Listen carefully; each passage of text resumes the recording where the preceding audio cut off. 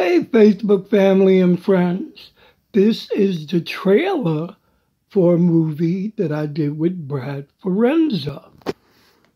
Okay, it's called The Lady Yang. Here we go.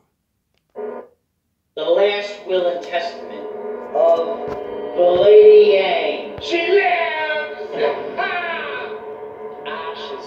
ashes and dust to dust. I give you a mission, one heiress or bust. Why these doors locked? What's going on here? You heard Lady Yang's wishes. Her council is not permitted to leave until there is a unanimous decision. I see too much in this house. You're all